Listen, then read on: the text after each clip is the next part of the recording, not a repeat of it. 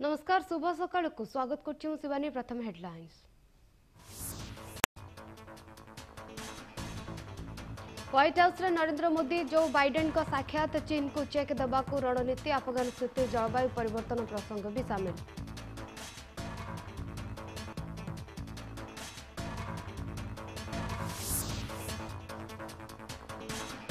ମୁଣ୍ଡରେଲା ମୁଣ୍ଡୁଳି ବ୍ୟାରେଜ୍ରୁ ହାତୀ ଉଦ୍ଧାର ବେଳେ ଓଲଟିଲା ଓଡ୍ରାଫ୍ ବୋଟ୍ ରିପୋର୍ଟର ଅରିନ୍ଦମ ଦାସଙ୍କ ଅକାଳ ବିୟୋଗ ରାଜ୍ୟବ୍ୟାପୀ ସାମ୍ବାଦିକଙ୍କ ଶୋକ।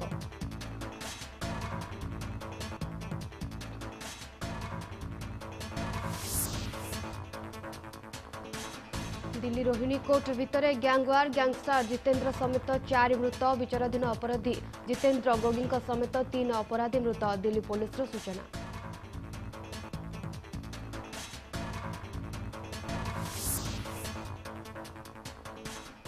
প্রকাশ পাইলা ইউপিএসএসসি দুই হাজার কোড়িয়ে রেজল্ট শুভম কুমার হলে টপর পুরা দেশর সিভিল সর্ভিসে নিযুক্তি পাই সাতশ একষঠি জন প্রার্থী সুপারিশ মেরিট লিষ্টে পঁচিশ ছাত্রছাত্রী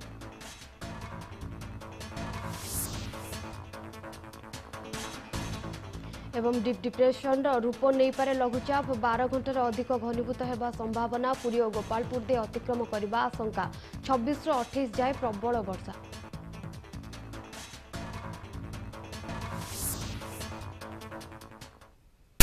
ଆସିବା ଖବର ଭିତରକୁ ଆସନ୍ତା ବାର ଘଣ୍ଟାରେ ଲଘୁଚାପ ଡିପ୍ ଡିପ୍ରେସନରେ ପରିଣତ ହେବ। ତେବେ ଆସନ୍ତା ଚବିଶ ଘଣ୍ଟା ପଶ୍ଚିମ ଉତ୍ତର ଦେଇ ଗତି କରିବ। ଏହାପରେ ପଶ୍ଚିମ ଦକ୍ଷିଣ ଦେଇ ଦକ୍ଷିଣ ଓଡ଼ିଶା ଉତ୍ତର ଆନ୍ଧ୍ରପ୍ରଦେଶ ଦେଇ ଗତି କରିବ। ତେବେ ଛବିଶ ତାରିଖ ସନ୍ଧ୍ୟା ସୁଦ୍ଧା ବିଶାଖାପାଟନମ ଓ ଗୋପାଳପୁର ମଝିରେ ଗତି କରିବ। ଆସନ୍ତା ଛବିଶରୁ ଅଠେଇଶ ତାରିଖ ପର୍ଯ୍ୟନ୍ତ ରାଜ୍ୟର ଅଧିକାଂଶ ସ୍ଥାନରେ ବର୍ଷା ହେବ। ଏହା ପୂର୍ବାନୁମାନ କରିଛି ଆଞ୍ଚଳିକ ପାଣିପାଗ ବିଜ୍ଞାନ କେନ୍ଦ୍ର। ତେବେ ସୂଚନା ଅନୁସାରେ ଉପକୂଳ ଓ ଦକ୍ଷିଣ ଓଡ଼ିଶାରେ ଅଧିକ ବର୍ଷା ହେବା ସମ୍ଭାବନା ଥିବାବେଳେ କେତେକ ସ୍ଥାନରେ ପ୍ରବଳ ବର୍ଷା ହୋଇପାରେ। ତେବେ କଟକ ଖୋର୍ଦ୍ଧା ଜଗତସିଂହପୁର କନ୍ଧମାଳ କଳାହାଣ୍ଡି ରାୟଗଡ଼ା ଗଜପତି ମୟୂରଭଞ୍ଜ କେନ୍ଦୁଝର ସୁନ୍ଦରଗଡ଼ ଝାରସୁଗୁଡ଼ା ସମ୍ବଲପୁର ନୂଆପଡ଼ା ବରଗଡ଼ ଓ ବଲାଙ୍ଗୀର ଜିଲ୍ଲାରେ ପ୍ରବଳ ବର୍ଷା ସହ ବଜ୍ରପାତର ସମ୍ଭାବନା ରହିଛି। ଏହିସବୁ ଜିଲ୍ଲାକୁ ୟେଲୋ ୱାର୍ଣ୍ଣିଂ ଜାରି କରିଛି ପାଣିପାଗ କେନ୍ଦ୍ର।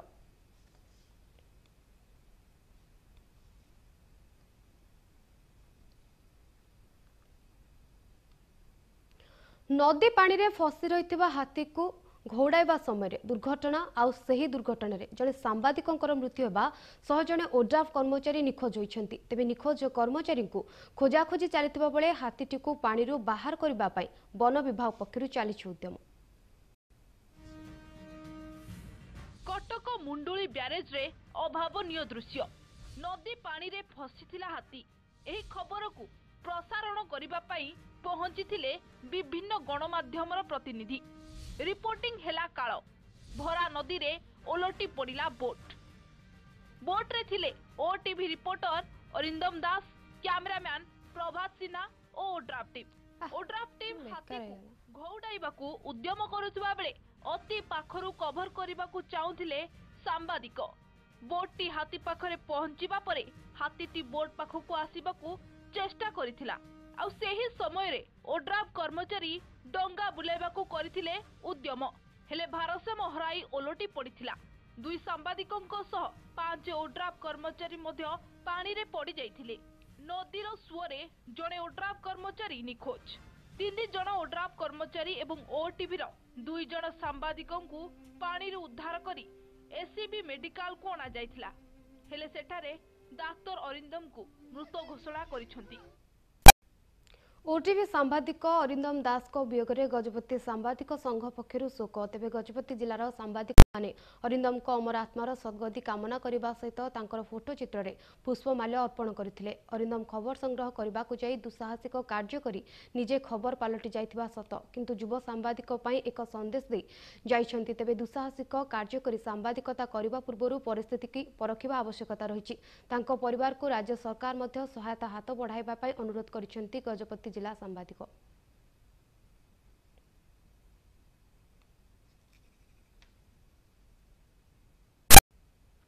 ଯୁବ ସାମ୍ବାଦିକ ଅରିନ୍ଦମଙ୍କ ମୃତ୍ୟୁରେ ସାମ୍ବାଦିକ ମହଲରେ ଶୋକର ଛାୟା ଖେଳିଯାଇଛି କେନ୍ଦୁଝର ମାଟିର ସନ୍ତାନକୁ ହରାଇ କେନ୍ଦୁଝରରେ ଖେଳିଯାଇଛି ଶୋକର ଛାୟା ବିଶେଷ କରି କେନ୍ଦୁଝରର ରାଜନଗର ରାଇକଳାଠାରେ ଉଣେଇଶହ ବୟାଅଶୀ ମସିହାରେ ଜନ୍ମଗ୍ରହଣ କରିଥିଲେ ଅରିନ୍ଦମ। ଦୁଇ ହଜାର ଦୁଇ ମସିହାରେ ଧରଣୀଧର ମହାବିଦ୍ୟାଳୟରୁ ପାସ୍ କରି ସାମ୍ବାଦିକତାକୁ ପେଶା କରିଥିଲେ। ଜଣେ ନିର୍ଭୀକ ସାମ୍ବାଦିକ ଭାବେ କେନ୍ଦୁଝରବାସୀଙ୍କ ହୃଦୟ ଜିତିଥିଲା ବେଳେ ପୁରା କେନ୍ଦୁଝର ତାଙ୍କର ଅକାଳ ମୃତ୍ୟୁ ଖବର ମିଳିବା ପରେ ସମସ୍ତେ ସ୍ତ- ସ୍ତବ୍ଧ ହୋଇପଡ଼ିଛନ୍ତି।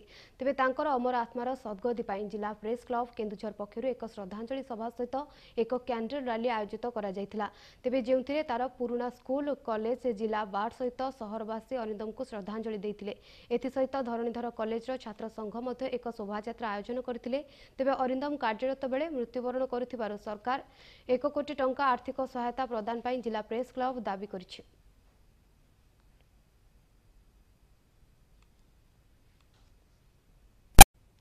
ଅରିନ୍ଦମ ଦାସଙ୍କ ଆତ୍ମାର ସଦ୍ଗତି କାମନା ପାଇଁ କୋଣାର୍କ ଜଗନ୍ନାଥ ମନ୍ଦିର ସମ୍ମୁଖରେ ଦୀପଦାନ କରାଯାଇଛି। ତେବେ ଅରିନ୍ଦମ ଦାସଙ୍କ ଆତ୍ମାର ସଦ୍ଗତି କାମନା ପାଇଁ କୋଣାର୍କ ଜଗନ୍ନାଥ ମନ୍ଦିର ସମ୍ମୁଖରେ ଦୀପଦାନ କରାଯାଇ କୋଣାର୍କର ତିନୋଟି ସାମ୍ବାଦିକ ସଂଘ Konark media forum press club ପକ୍ଷରୁ ଅରିନ୍ଦମ ଦାସଙ୍କ ପ୍ରତି ନିରବ ପ୍ରାର୍ଥନା ସହିତ ଦୀପଦାନ କରାଯାଇଥିଲା। ତେବେ ତାଙ୍କର ଆତ୍ମାର ସଦ୍ଗତି ପାଇଁ ଶ୍ରଦ୍ଧାଞ୍ଜଳି ଦେଇ ତାଙ୍କ ଅମର ଅଶ୍ରୁଳ ଶ୍ରଦ୍ଧାଞ୍ଜଳି କାମନା କରି ଜଗନ୍ନାଥ ତାଙ୍କ ଆତ୍ମାକୁ ସଦ୍ଗତି କରନ୍ତୁ ବୋଲି ସମସ୍ତ ଗଣମାଧ୍ୟମ ପ୍ରତିନିଧି ଜଗନ୍ନାଥଙ୍କ ନିକଟରେ ପ୍ରାର୍ଥନା କରିଥିଲେ। ଯୁବ ସାମ୍ବାଦିକ ଅରିନ୍ଦମ ଦାସଙ୍କ ଅକାଳ ବିୟୋଗକୁ ନେଇ ପ୍ରଭୁ ଶ୍ରୀ ଜଗନ୍ନାଥଙ୍କ ନିକଟରେ ପୁରୀ ସହରର କର୍ତ୍ତବ୍ୟରତ ସାମ୍ବାଦିକମାନେ ଦୀପଦାନ କରିବା ସହିତ ତାଙ୍କ ଅମର ଆତ୍ମାର ସଦ୍ଗତି କାମନା କରିଛନ୍ତି। ତେବେ ମୁଣ୍ଡୁଳିରେ ଦନ୍ତାହାତୀ ଫସିବା ଘଟଣାର ଖବର ସଂଗ୍ରହ କରିବାକୁ ଯାଇ ଦୁର୍ଘଟଣାର ସମ୍ମୁଖୀନ ହୋଇ ନଦୀରେ ବୁଡ଼ି ମୃତ୍ୟୁବରଣ କରିଥିବା ଅରିନ୍ଦମଙ୍କ ମୃତ୍ୟୁ ସାମ୍ବାଦିକତା କ୍ଷେତ୍ରରେ ଏକ ଅପୂରଣୀୟ କ୍ଷତି କରିଛି। ତେବେ ବିଭିନ୍ନ ସମୟରେ ଅରିନ୍ଦମ ପୁରୀର ରିପୋର୍ଟିଂ କରିବା ସହିତ ସାମ୍ବାଦିକମାନଙ୍କ ମନରେ ଅନେକ ସ୍ମୃତିଭରା ସମୟ ଅତିବାହିତ କରିଥିବା ବେଳେ ତାହା ଚିରସ୍ମରଣୀୟ ହୋଇ ରହିବ ବୋଲି ମତ ପ୍ରକାଶ ପାଇଛି। ପ୍ରଧାନମନ୍ତ୍ରୀ ନରେନ୍ଦ୍ର ମୋଦି ଓ ଆମେରିକାର ରାଷ୍ଟ୍ରପତି ଜୋ ବାଇଡେନଙ୍କ ମଧ୍ୟରେ ସାକ୍ଷାତକାର ହୋଇଛି। ଉଭୟ ନେତାଙ୍କର ଏହା ହେଉଛି ପ୍ରଥମ ସାକ୍ଷାତକାର। ଅଧଘଣ୍ଟାରୁ ଅଧିକ ସମୟ ଧରି ଆଲୋଚନା ହୋଇଛି। କରୋନା ସଙ୍କଟ ଆଫଗାନିସ୍ତାନ ବ୍ୟତୀତ ଆତଙ୍କବାଦ ସମେତ ବହୁ ପ୍ରସଙ୍ଗରେ ଆଲୋଚନା ହୋଇଛି। ତେବେ ଭାରତ ଆମେରିକା ପାଇଁ ଏହି ବୈଠକ ଗୁରୁତ୍ୱପୂର୍ଣ୍ଣ ବୋଲି କହିଛନ୍ତି ମୋଦି। ବାଇଡେନଙ୍କ ଭିଜନ ଭାରତ ପାଇଁ ପ୍ରେରଣାଦାୟୀ ବୋଲି ମୋଦି କହିଛନ୍ତି। ମୋଦିଙ୍କ ସହିତ ଆଲୋଚନା ବେଳେ ବାଇଡେନ ଉପରାଷ୍ଟ୍ରପତି କମଳା ହାରିସଙ୍କ ମାଙ୍କ କଥା ଉଠାଇଥିଲେ। କମଳାଙ୍କ ମା ଜଣେ ଜଣାଶୁଣା ବୈଜ୍ଞାନିକ ଥିଲେ ବୋଲି ବାଇଡେନ କହିଛନ୍ତି। ମୋଦି ହ୍ୱାଇଟ୍ ହାଉସ୍ ପହଞ୍ଚିବା ବେଳେ ବାହାରେ ପ୍ରବାସୀ ଭାରତୀୟ ମୋଦି ମୋଦି ନାରା ଦେଇଥିଲେ। ସାତ ବର୍ଷ ଭିତରେ ମୋଦିଙ୍କର ଏହା ସପ୍ତମ ଆମେରିକା ଗସ୍ତ। ଏହି ଦ୍ୱିପାକ୍ଷିକ ବୈଠକରେ ଉଭୟ ଇଣ୍ଡୋ ପାସିଫିକ୍ କୋଭିଡ୍ ମୁକାବିଲା ଓ କ୍ଲାଇମେଟ୍ ଚେଞ୍ଜ ସମ୍ପର୍କରେ ଆଲୋଚନା କରିଥିଲେ।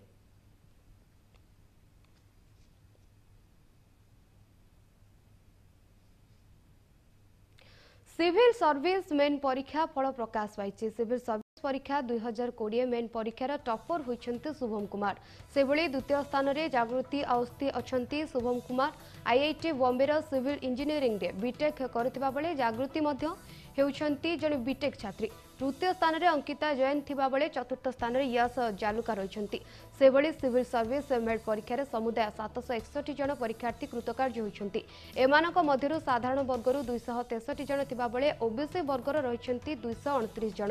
ସେଭଳି ଏସ୍ସି ଓ ଏସ୍ଟି ବର୍ଗରୁ ଯଥାକ୍ରମରେ ଶହେ ବାଇଶ ଜଣ ଓ ଏକଷଠି ଏସ୍ଟି ବର୍ଗର ଜଣ ଛାତ୍ରଛାତ୍ରୀ ଅଛନ୍ତି। ତେବେ ଆଇଏଏସ୍ ପାଇଁ ଶହେ ଅଶୀ ଆଇଏଫ୍ଏସ୍ ପାଇଁ ଛତିଶ ଆଇପିଏସ୍ ପାଇଁ ଦୁଇଶହ ସେଣ୍ଟ୍ରାଲ ସର୍ଭିସ ଗ୍ରୁପ୍ ଏ ପାଇଁ ତିନିଶହ ଦୁଇ ଗ୍ରୁପ୍ ବି ପଦବୀ ପାଇଁ ଶହେ ଅଠର ଜଣଙ୍କୁ ନିଯୁକ୍ତି ମିଳିବ।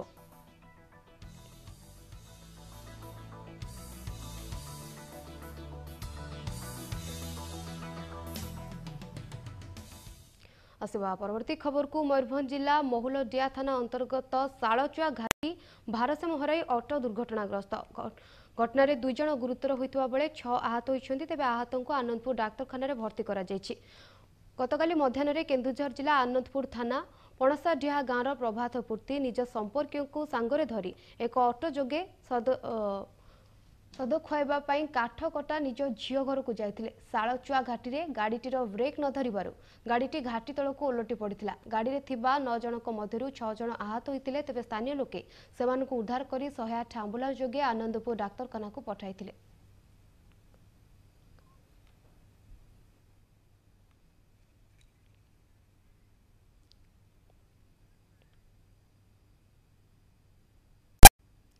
নির্বাচন যেতিকি পাখুছে প্রচার সেতিকি সরগরম হেউছে বিভিন্ন প্রসঙ্গকু নিয়ে লোকঙ্ক পাখকু যাওয়া তয়ার শাসক বিরোধী বিরোধী দল বিজেপি ফনি ক্ষতিপূরণকু করেছে অস্ত্র যাহাকু নিয়ে জবাব রকিছে বিজেডি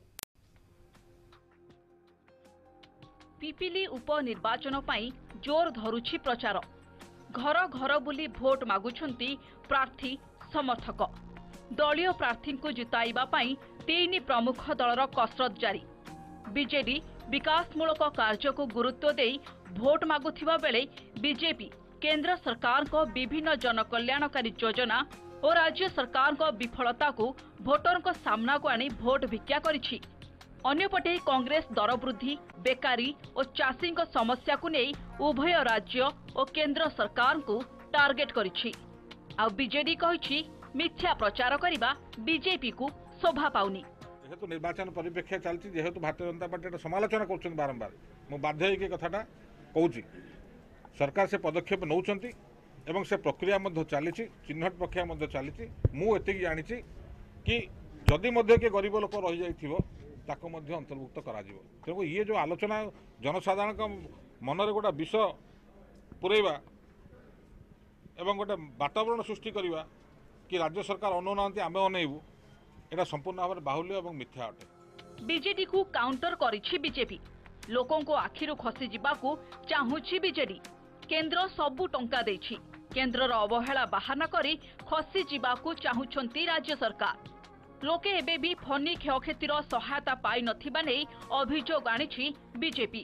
ଏହି ସମୟରେ ବହୁତ ଆଗରୁ ଗୋଟେ ଆଗୁଆ କମ୍ପେନସେସନ୍ ଆଗୁଆ ସହାୟତା ବି କେନ୍ଦ୍ର ସରକାର ଦେଇଥିଲେ। ଆଉ ଯେତିକି ପଇସା ରାଜ୍ୟ ସରକାର କହିଛନ୍ତି ତାଠୁ ଅନେକ ଅଧିକା ଅନେକ ଅଧିକା କେନ୍ଦ୍ର ସରକାର ରାଜ୍ୟକୁ ଦେଇଛନ୍ତି। ରାଜ୍ୟ ସରକାର ତାକୁ ଠିକ୍ ଭାବରେ ବିତରଣ କରିପାରିନାହାନ୍ତି ଠିକ୍ ସମୟରେ ବାଣ୍ଟି ପାରିନାହାନ୍ତି।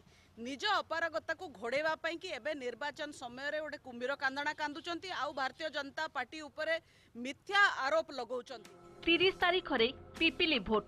ପିପିଲି ବ୍ଲକର ପଚିଶ ପଞ୍ଚାୟତ ଡେଲାଙ୍ଗ ବ୍ଲକର ଏକୋଇଶ ପଞ୍ଚାୟତ ସହ ପିପିଲି ଏନ୍ଏସିର ଷୋହଳଟି ୱାର୍ଡବାସୀ ନିଜ ମନପସନ୍ଦର ପ୍ରାର୍ଥୀଙ୍କୁ ବାଛିବେ। ଭୁବନେଶ୍ୱରରୁ ଭିଡିଓ ଜର୍ଣ୍ଣାଲିଷ୍ଟ ପଙ୍କଜ ମହାପାତ୍ରଙ୍କ ସହ ସରୋଜ ମଲ୍ଲିକଙ୍କ ରିପୋର୍ଟ ଏମ୍ବିସି ନ୍ୟୁଜ୍। ପଟ୍ଟାମୁଣ୍ଡାଇ ଅବକାରୀ ବିଭାଗ ତରଫରୁ ମାରାଥନ ଚଢ଼ାଉ ଜାରି ରଖିଥିବା ବେଳେ ପଟ୍ଟାମୁଣ୍ଡାଇ ଅବକାରୀ ବିଭାଗକୁ ବଡ଼ ସଫଳତା। ବିଶେଷ ସୂତ୍ରରୁ ପ୍ରକାଶ ପାଇ ପଟ୍ଟାମୁଣ୍ଡାଇ ଅବକାରୀ ଅଧିକାରୀ କମଳ ଲୋଚନ ପାଇକରାୟ ଏକ ସ୍ୱତନ୍ତ୍ର ଟିମ୍ ଗଠନ କରି ପଟ୍ଟାମୁଣ୍ଡାଇ ଚୁନଢିଅ ଛକ ନିକଟରେ ନକଲି ମଦ ପ୍ରସ୍ତୁତ ସାମଗ୍ରୀ ଜବତ ସହିତ ପଚାଶ ଲିଟର ନକଲି ମଦ ଶହେ ଷାଠିଏ ବୋତଲ ଆଠଶହ ସାତ ବୋତଲ ଖୋପ ଦୁଇଶହ ସତୁରି ନକଲି ଅବକାରୀ ଷ୍ଟାମ୍ପ ସହିତ ଗୋଟିଏ ବୁଲେଟକୁ ଜବତ କରିଛି ଅବକାରୀ ବିଭାଗ। ଅନ୍ୟପଟରେ ଏହି ଘଟଣାରେ ଦୁଇ ଜଣଙ୍କୁ ଗିରଫ କଲା ପଟ୍ଟାମୁଣ୍ଡି ଅବକାରୀ ବିଭାଗ। ଅଭିଯୁକ୍ତ ଦୁଇ ଜଣଙ୍କ ମଧ୍ୟରୁ ଜଣେ ଆଳି ଅଞ୍ଚଳର ସୂର୍ଯ୍ୟକାନ୍ତ ଦାସ ହୋଇଥିବା ବେଳେ ଅନ୍ୟ ଜଣେ ବାରୁଆ ପୋଇପାଟ ଅଞ୍ଚଳର ଦେବାଶିଷ ଦାସ ବୋଲି ସୂଚନା ଦେଇଛନ୍ତି ପଟ୍ଟାମୁଣ୍ଡି ଅବକାରୀ ବିଭାଗ। ଡୁପ୍ଲିକେଟ୍ ନକଲି ବିଦେଶୀ ମଦ କେସ୍ ଗୋଟେ କରିଥିଲେ ପନ୍ଦର ଦିନ ତଳେ। ସେଇଠୁ ଆମକୁ ଗୋଟେ କ୍ଲୁ ମିଳିଥିଲା ଯେ ଆଳିର ଟିକିଆ ନାମକ ଏକ ବ୍ୟକ୍ତି ସେଥିରେ ମେନ୍ ସ୍ପିରିଟ୍ ଫିରିଟ୍ ଯୋଗାଣ କରୁଛି। ତ ଆମେ ସେଇ ଦିନଠୁ ତାକୁ ଟ୍ରାକିଂ କରିକି ତା ଖବର ନେଉଥିଲୁ ସ୍ପାଏ ଏନ୍ଗେଜ୍ କରିଥିଲୁ। ଆଜି ହଠାତ୍ ଖବର ମିଳିଲା ଯେ ସିଏ ଆଳିରୁ ସ୍ପିରିଟ୍ ଆଉ ଆମର ଠିପି ଷ୍ଟିକର ଖାଲି ବୋତଲ ସବୁ ମଦ ତିଆରି କରିବାକୁ ନେଇକି ଯାଉଛି ଗୋଟେ ବୁଲେଟ୍ରେ ଆମେ ଖବର ପାଇ ତାକୁ ଚୁନଡ଼ିଆ ଛକରେ ତାକୁ ମାଡ଼ି ବସି ଧରିଲୁ ଏବଂ ଧରିଲା ପରେ ଆମେ ତା ନିକଟରୁ ପଚାଶ ଲିଟର ନକଲି ବିଦେଶୀ ମଦ ଦୁଇଶହ ସତୁରିଟି ଇଏଲ୍ ଷ୍ଟିକର ଆଠଶହ ସାତଟି କ୍ୟାପ୍ ଏବଂ ଅ, ଶହେ ଷାଠିଏଟି ଖାଲି ବୋତଲ ତା ନିକଟରୁ ଜବତ କରାଗଲା। ଆଉ ସେ ବ୍ୟବହାର କରିଥିବା ବୁଲେ ଯେଉଁ ବୁଲେଟ୍ଟି ରୟାଲ୍ ଏନଫିଲ୍ଡ ମଧ୍ୟ ଜବତ କରାଗଲା। ଢେଙ୍କାନାଳ ଜିଲ୍ଲା କାମାକ୍ଷାନଗର ଥାନା ସୁକିନ୍ଦା ଅନୁଗୁଳ ନୂତନ ରେଳପଥରୁ ଇଞ୍ଜିନିୟରିଂ ମେଟାଲ ଚୋରି ଅଭିଯୋଗରେ ଦୁଇ ଜଣଙ୍କୁ ଗିରଫ କରିଛି ଢେଙ୍କାନାଳ ରେଲୱେ ପୋଲିସ। ଗିରଫ ଅଭିଯୁକ୍ତମାନେ ହେଲେ କାମାକ୍ଷାନଗର ମେନ୍ ରୋଡ୍ ସ୍ଥିତ ଏସ୍ଆର୍ ପେଟ୍ରୋଲ ପମ୍ପ ପାଖ କବାଡି ଦୋକାନର ମାଲିକ ଏମ୍ଡି ମୁକ୍ତା ଏବଂ ଫେରିବାଲା ମହେଶ୍ୱର ପ୍ରଧାନ। ତେବେ ସୁକିନ୍ଦା ଅନୁଗୁଳ ନୂତନ ରେଳପଥର ଅଳତୁମା ଶିବୁଆଳପସି ଚୁଳିଆ ନିକଟରୁ ରେଲୱେ ଇଞ୍ଜିନିୟରିଂ ମେଟାଲ ଗୁଡ଼ିକ ବାରମ୍ବାର ଚୋରି ହେଉଥିବା ନେଇ ରେଲୱେ କର୍ତ୍ତୃପକ୍ଷ କାମାକ୍ଷାନଗର ଥାନାରେ ଅଭିଯୋଗ କରିଥିଲେ। ଗିରଫ ପରେ ଦୁଇ ଅଭିଯୁକ୍ତଙ୍କୁ କୋର୍ଟ ଚାଲାଣ କରାଯିବ ବୋଲି ରେଲୱେ ପୋଲିସ ପକ୍ଷରୁ ସୂଚନା ମିଳିଛି।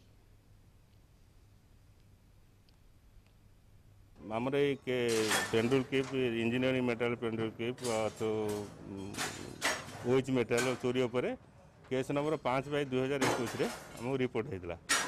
ତାରି ଉପରେ ଆମେ ଇନଭେଷ୍ଟିଗେସନ୍ କରିଥିଲୁ ଇନଭେଷ୍ଟିଗେସନ୍ କଲା ପରେ ଜଣେ ଫେରି ହୁଁ, ଫେରି ଫେରିବାଲାକୁ ଧରିଲୁ ଧରିଲା ପରେ ତାରି କନେକ୍ସନରେ ଯେ ସେ କହିଲା ଜିନିଷ ଏଇଠି ସେ ଡିସ୍ପୋଜ୍ କରିଛି ବୋଲି ତାପରେ ଆସିକି ଆମେ ଏଠି ତା ଉଁ, ତାକୁ ତା ଦୋକାନ ତା ଦୋକାନ ଇଏ କଲୁ କଲା ପରେ ଇନଭେଷ୍ଟିଗେସନ୍ ଚାଲିଛି ଫି- ମାଲ ଏ, ଇଏ ଚାଲିଛି ତାର ଗାଡ଼ି ଲୋଡ୍ ହେଉଥିଲା ଗାଡ଼ି ଲୋଡ୍ ଆମେ ଦେଖୁଛୁ ମାଲ କିଛି ପାଇଲୁ ତା ଗାଡ଼ି ଭିତରେ ଅଛି ବୋଲି ସେ ନାବାଳିକା ଗଣଦୁଷ୍କର୍ମର ଶିକାର। ଦେବଗଡ଼ ଜିଲ୍ଲା ରିଆମାଳ ଥାନା ଅଞ୍ଚଳରେ ଜଣେ ନାବାଳିକା ଛାତ୍ରୀ ଗଣଦୁଷ୍କର୍ମର ଶିକାର ହୋଇଛନ୍ତି।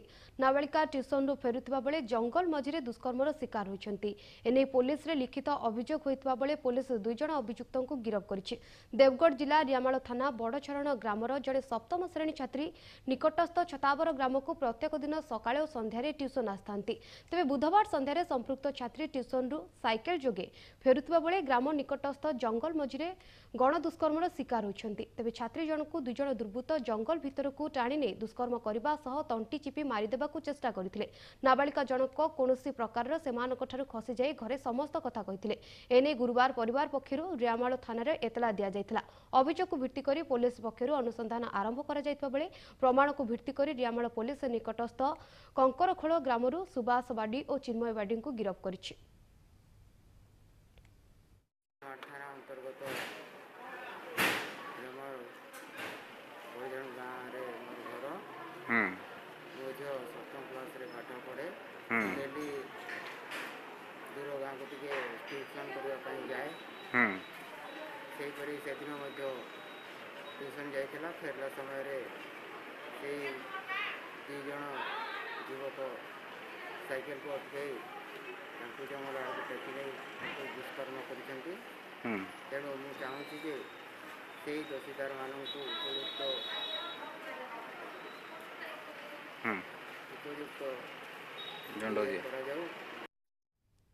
ଦିନ ଥିଲା ଗୋବର୍ଦ୍ଧନପୁର କଲୋନୀ ବଜାରର କାଳୁ ଟେଲର ନାଁ କହିଲେ। ଆଖପାଖ ଅଞ୍ଚଳରେ ପିଲାଠାରୁ ବୁଢ଼ା ଯାଏ। ସମସ୍ତେ ଜାଣନ୍ତି। ପୂଜା କି ଜାନିଜାତ ଯାହା ବି ହେଲେ କାଳୁ ଟେଲର ଦୋକାନରେ ନାହିଁ ନଥିବା ଭିଡ଼ ଦେଖିବାକୁ ମିଳେ। ସରଳ ମେଳାପି କାଳୁର ଟେଲର ଦୋକାନରେ ଦୀର୍ଘ ଆଠ ମାସ ହେଲା ଏବେ ପଡ଼ିଛି ତାଲା। ଆଉ କାଳୁ ରୋଗ ଶଯ୍ୟାରେ।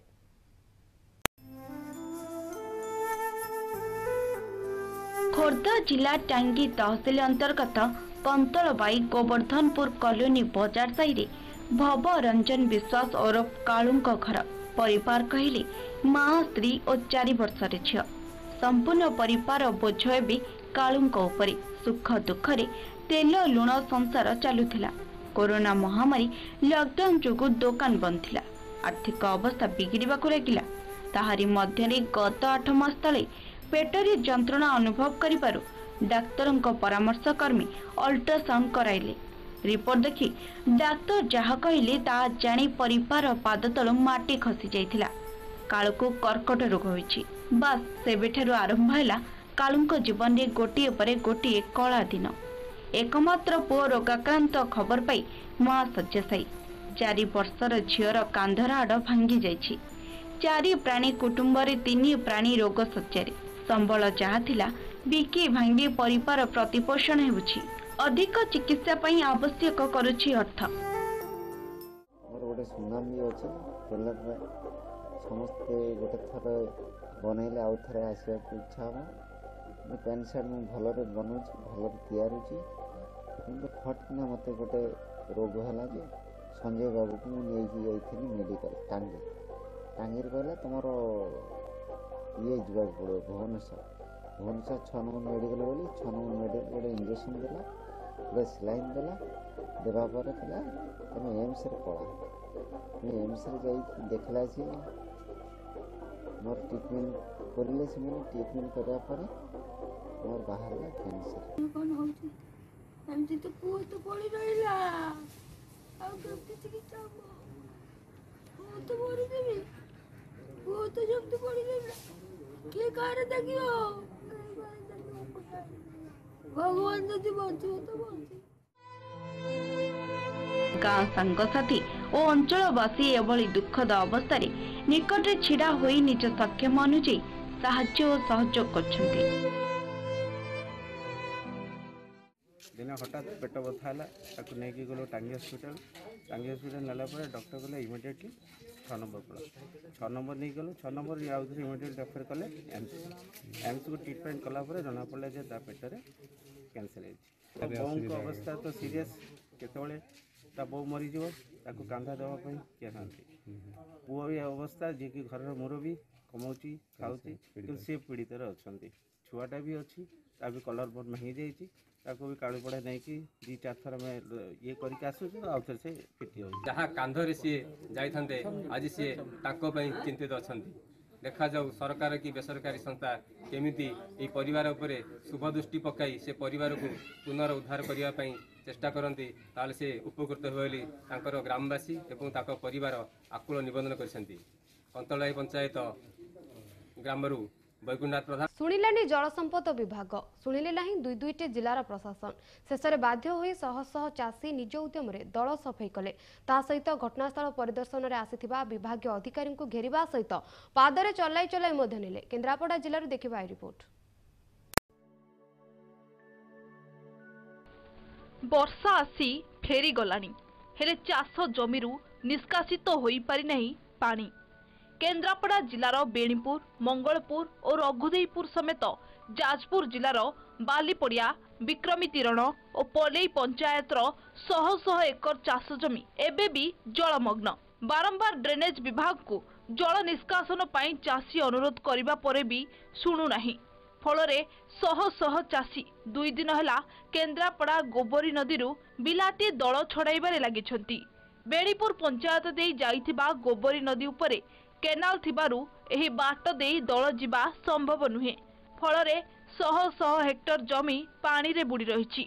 ଗୋବରୀରେ ଯାଜପୁର ଜିଲ୍ଲାର ମାତକାତପୁର ଡ୍ରେନେଜ ସିଷ୍ଟମ ଆସି ମିଶିଥିବାରୁ ପାଣି କମୁନାହିଁ। ଫଳରେ ଚାଷୀ ନିଜେ ଦଳ ସଫା କରୁଛନ୍ତି। ଆମେ ଚାହୁଁଛୁ ଯେ ଆମର ଯେଉଁ ମାତକାତପୁର ଡ୍ରେନେଜ୍ ହେଇ ଆସିଥିବା ତାର ଦୁଇ ପାର୍ଶ୍ୱକୁ ଉଚ୍ଚା କରାଯାଉ ଉପରୁ ଆସୁଥିବା ପାଣି ଗୋବରିକି ଆସୁ ପାଣି ବାଟରେ ପାଣି ନିଷ୍କାସନ ହେଉ କିନ୍ତୁ ଆମ ନାଳ ବୁଡ଼ି ଆମ ପାଟକୁ ପାଣି ନ ଯାଉ ଆଉ ପାଟ ପାଣି ନିଷ୍କାସନ କରିବା ପାଇଁ ବ୍ୟବସ୍ଥା ସରକାର କରନ୍ତୁ। ଆମେ ଏତିକି ଚାହୁଁ ଚାଷୀମାନେ ଏତିକି ଆମର ବିନମ୍ର ଅନୁରୋଧ। ପାଣି ଆଜ୍ଞା ଆମେ ଚେଷ୍ଟା କରୁଛୁ। କାଲି ଆମେ ଯେତିକି ଇଏ କରିଥିଲୁ ସଫା କରିଥିଲୁ ତା ଦ୍ୱାରା ଆମେ ସୁଅ ଦେଖିପାରିଥିଲୁ ଯେ ସୁଅଟା ଅଧିକା ମାତ୍ରାରେ ପଡ଼ିଥିଲା ପାଣି ଟିକେ ଟିକେ ଖସୁଛି। ତା ଅପେକ୍ଷା ପୂର୍ଣ୍ଣିମା ଥିଲା ପାଣି ଅଧିକା ଉଚ୍ଚା ହେଇକି ଥିଲା ପାଣି ଟିକେ ଟିକେ ଖସିବ ଖସିବା ଆରମ୍ଭ ହେବ। କିନ୍ତୁ ଏ ଦଳ ହେଉଛି ଜାମ୍। ଗୁହାରି ଶୁଣିଲେ ନାହିଁ ବିଭାଗୀୟ ଅଧିକାରୀ। ତେବେ ଚାଷୀ ନିଜେ ଦଳ ସଫା କରିବା ପରେ ଆସି ପହଞ୍ଚିଗଲେ। ଉତ୍ତ୍ୟକ୍ତ ଚାଷୀ ଅଧିକାରୀମାନଙ୍କୁ ପାଦରେ ଚଲାଇ ଜଳବନ୍ଦୀ ଅବସ୍ଥା ଦେଖାଇବା ସହ ସମସ୍ୟାର ସମାଧାନ ଦାବିରେ ଦୁଇ ଘଣ୍ଟା ଅଟକ ରଖିଥିଲେ। ଅନ୍ୟପଟେ ଡ୍ରେନେଜ ବିଭାଗ ଯନ୍ତ୍ରୀ କହିଛନ୍ତି ଯେ ଖୁବ୍ ଶୀଘ୍ର ଜଳ ନିଷ୍କାସନ ଦିଗରେ ପଦକ୍ଷେପ ନିଆଯିବ।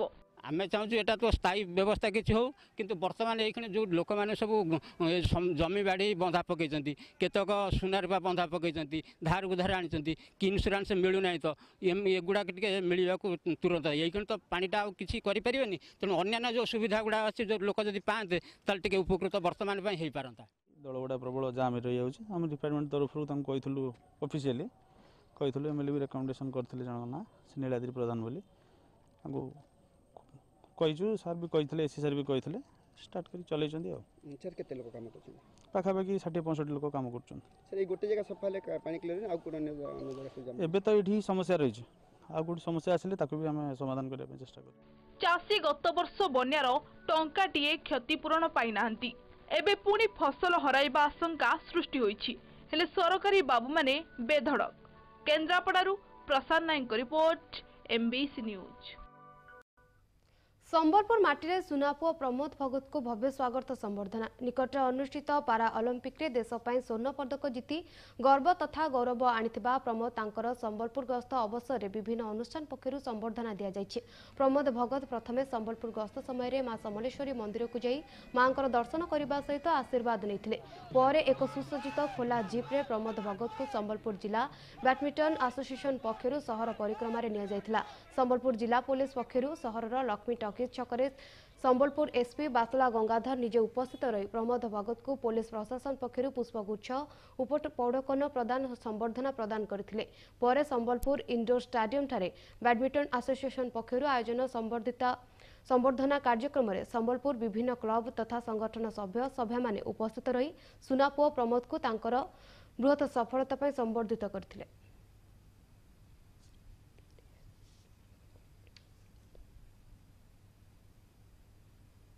ସମୟ ଶେଷ ହୋଇଛି ବୁଲେଟିନ୍କୁ ଏଠି ରଖିବା ନମସ୍କାର